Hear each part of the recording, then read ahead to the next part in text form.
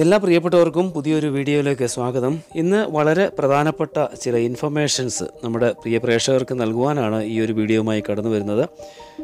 അത് വളരെ പ്രധാനപ്പെട്ട രണ്ട് ഇൻഫർമേഷൻസ് ആണ്. അതിലെ ഓൾറെഡി നിങ്ങൾ പല മാധ്യമങ്ങളിലൂടി കണ്ടു കാണും എന്നാൽ നമ്മുടെ പ്രേക്ഷകർ ആരെങ്കിലും ഈ ഒരു വിവരം അറിയാനുണ്ടെങ്കിൽ അല്ലെങ്കിൽ ആരെയെങ്കിലും അറിയിക്കുവാനുണ്ടെങ്കിൽ ഇത്തരം കാര്യങ്ങൾ നിങ്ങൾ ഷെയർ ചെയ്ത് മറ്റുള്ളവരെ കൂടി അറിയിക്കുക. അവർക്കും ഇതൊരു പ്രയോജനകരമാകും. ഇങ്ങനെ ഇത്തരത്തിലുള്ള ചതിയിൽ പെടാതിരിക്കുവാനായിട്ട് നിങ്ങൾ പ്രത്യേകം ശ്രദ്ധിക്കുക അവരെ കൂടി ഒന്ന് ഓർമ്മിപ്പിക്കുക.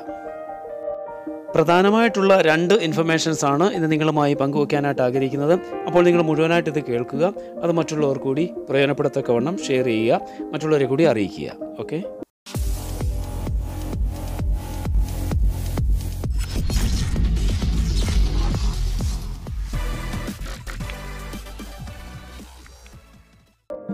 നിങ്ങൾ ഈ ചാനൽ ആദ്യമായിട്ട് കാണുകയോ അതുപോലെ സബ്സ്ക്രൈബ് ചെയ്യാത്തവരോ ആണെങ്കിൽ സബ്സ്ക്രൈബ് ചെയ്യാൻ മറക്കരുത്. തൊട്ടപ്പുറത്തുള്ള ബെല്ലൈക്കൺ കൂടി എനേബിൾ ചെയ്ത് വെക്കുക. നിങ്ങൾക്ക് നല്ല നല്ല ഇൻഫർമേഷൻസും ബാക്കിയുള്ള മറ്റുള്ള വീഡിയോകളൊക്കെയും ഈ ചാനലിലൂടെ നിങ്ങൾക്ക് ലഭ്യമാണ്. അപ്പോൾ നിങ്ങൾ സബ്സ്ക്രൈബ് ചെയ്യാൻ മറക്കരുത്. നിങ്ങൾക്കെല്ലാം അറിയാവുന്നതുപോലെ ഇപ്പോൾ ഗൾഫ് നാടുകളിൽ പ്രത്യേകിച്ച് കുവൈറ്റിൽ അങ്ങനെ വിസ ഇഷ്യൂ ചെയ്യുന്ന പരിവില്ല. ഇപ്പോഴത്തെ സാഹചര്യത്തിൽ വിസ ഇഷ്യൂ ചെയ്യുന്നില്ല. എന്നാൽ വിസ ഇഷ്യൂ ചെയ്യുന്നതോ ലഭിക്കുന്നതോ ആയിട്ടുള്ള ആളുകളെ തേടി അത് കണ്ടെത്തി എത്രയും വേഗം കുവൈറ്റിലേക്ക് അല്ലെങ്കിൽ ഗൾഫ് നാടുകളിലേക്ക് വരുവാൻ ആഗ്രഹിക്കുന്ന ഒട്ടനവധി നമ്മുടെ സുഹൃത്തുക്കൾ നാട്ടിലിങ്ങനെ വെയിറ്റ് ചെയ്യുന്നുണ്ട്. അപ്പോൾ കുവൈറ്റിൽ വ്യാജ വിസ നൽകി പണം തട്ടുന്ന സംഘം വീണ്ടും സജീവമാവുകയാണ്. ഹരിയാന കേന്ദ്രീകരിച്ച് നടത്തുന്ന സ്കൈവോക്ക് എച്ച് ആർ റിക്രൂട്ടർ എന്ന ഏജൻസിയുടെ പേരിലാണ് കുവൈത്ത് വിസ വ്യാജമായി നിർമ്മിച്ച് ഉദ്യോഗാർത്ഥികളിൽ നിന്നും പണം തട്ടുന്നത്. ഫേസ്ബുക്ക് വഴി പരസ്യം നൽകിയാണ് തട്ടിപ്പ് സംഘം ഉദ്യോഗാർത്ഥികളെ വലവീശുന്നത് ഒറിജിനൽ വിസ ലഭിച്ചാൽ മാത്രം പണം നൽകിയാൽ മതിയെന്ന വാഗ്ദാനം നൽകുന്നതിനാൽ അനേകം പേരാണ് ഇരകളാക്കപ്പെടുന്നത്. ഇത്തരത്തിലുള്ള പരസ്യം കണ്ടതിനെ തുടർന്ന് രണ്ടാഴ്ച മുമ്പ് ജോലിക്കായി അപേക്ഷ നൽകിയ കൊല്ലം സ്വദേശിക്ക് കഴിഞ്ഞ ദിവസം തട്ടിപ്പ് സംഘം ഒറിജിനൽ വിസയാണെന്ന വ്യാജേന അയച്ചു നൽകിയത് കുവൈത്തിലെ പ്രമുഖ എഞ്ചിനീയറിംഗ് കമ്പനിയായ ഹുണ്ടയുടെ പേരിൽ വ്യാജമായി നിർമ്മിച്ച വിസയായിരുന്നു. വിസ ഇഷ്യൂ ചെയ്തതോ ശനിയാഴ്ച സർക്കാർ അവധി ദിനമായ ഒക്ടോബർ ഇരുപത്തിനാല് ശനിയാഴ്ച എന്നാണ് ഏറെ കൗതുകകരം. ഐ സി എസ് ബാങ്ക് വഴി പണം അയക്കുന്നതിനാണ് ട്രാവൽ ഏജൻസിയിൽ നിന്നും ഇയാളോട് ആവശ്യപ്പെട്ടത്. എന്നാൽ നാട്ടിലെ ഒരു നമ്പർ മൊബൈൽ നമ്പറിൽ നിന്നാണ് പണം അയക്കുന്നതിന് വേണ്ടി ആവശ്യപ്പെട്ടുകൊണ്ടുള്ള ഫോൺ സന്ദേശം ലഭിച്ചത്. ശ്രദ്ധിക്കുക കുവൈറ്റിൽ നിന്നുമല്ല ഇന്ത്യയിൽ നിന്നുള്ള ഒരു ഫോൺ നമ്പർ വഴി ആണ് ഈ ഒരു ഇൻഫർമേഷൻസ് അവർക്ക് കിട്ടിയത്.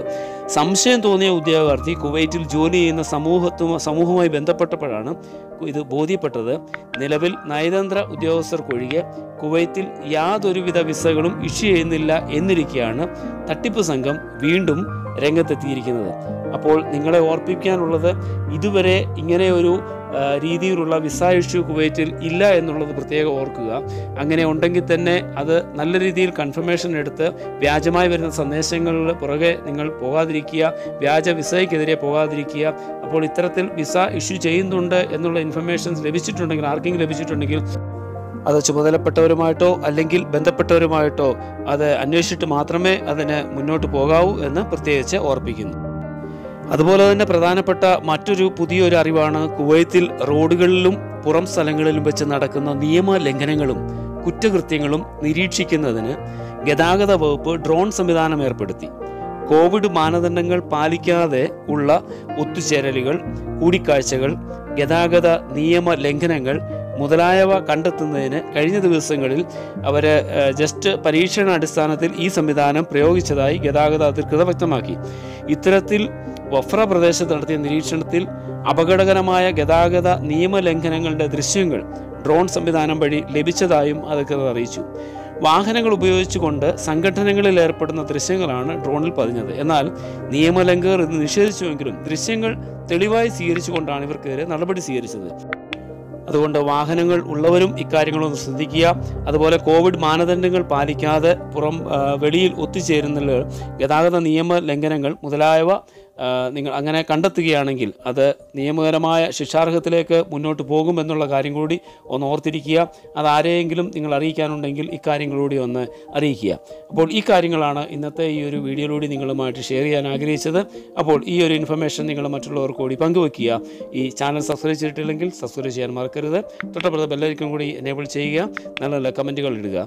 താങ്ക്